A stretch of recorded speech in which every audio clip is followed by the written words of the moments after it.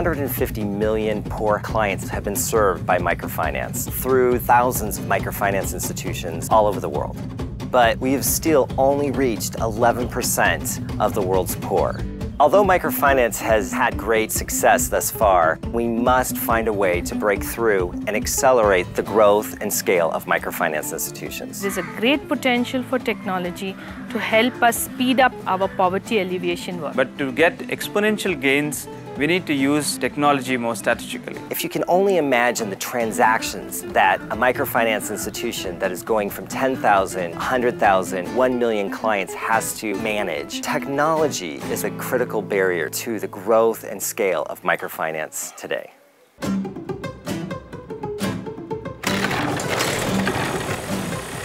We've developed Mifos, an open source application platform that makes technology accessible and cost effective to any microfinance institution throughout the world. We've looked to the Mifos customers to tell us about how the technology is enabling them more affordable and accessible capital to run their businesses.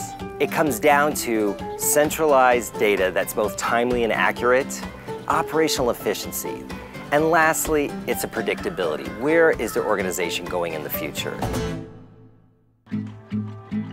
I've seen a lot of poverty and it always bothered me and it was at the back of my mind that something needs to be done and uh, that is how Grameen Koota was born. We've laid a very strong foundation. We have attracted and uh, trained and developed a large workforce, built strong relationship with our bankers and other stakeholders and invested in technology to help us achieve scale and I think these are all factors which have contributed to us being a successful mi microfinance institution. We have grown from 100,000 accounts to 700,000 accounts in three years without actually making major changes in our information management systems. And today if you see the flexibility and scalability what we have achieved, it's amazing. We'll be having a return of 5 million with only an investment of 200,000, Mifos has helped us increase the efficiencies of our loan officers. It has helped us manage cash better and respond to our client needs very quickly. In the past 10 years, we have been growing at the rate of more than 100% year on year. So timely and accurate information is very important. And today the investors and lenders place a high reliance on the kind of controls that a company has. Grameen Koota has a high reputation uh, with all the investors and the lenders because of the technology backup. Grameen Koota definitely uh, considers that as an edge.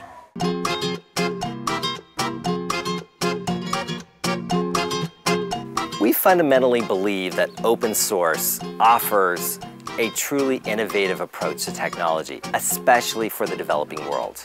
It's a shared model where you get a benefit of others' contributions a community of developers and practitioners and end users that all come together to collaborate, share information and resources, and work to create a technology that will uplift the market. Every organization doesn't need to create a custom solution from scratch. They can use Mifos and extend it according to their needs. It's low cost, it's very user-friendly, it works on very low connectivity, and uh, there is a lot of support available across the globe for the users.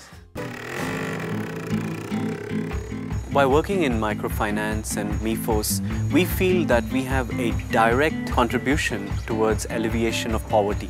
We have a common vision of reaching out with financial services to the poor and the low-income households. With technology, we have been able to scale up our program. Grameen Koota has been growing, and it has been growing by leaps and bounds. Going forward, technology is going to help us to offer better products and services to our clients. This success can be repeated by anyone using the same technology.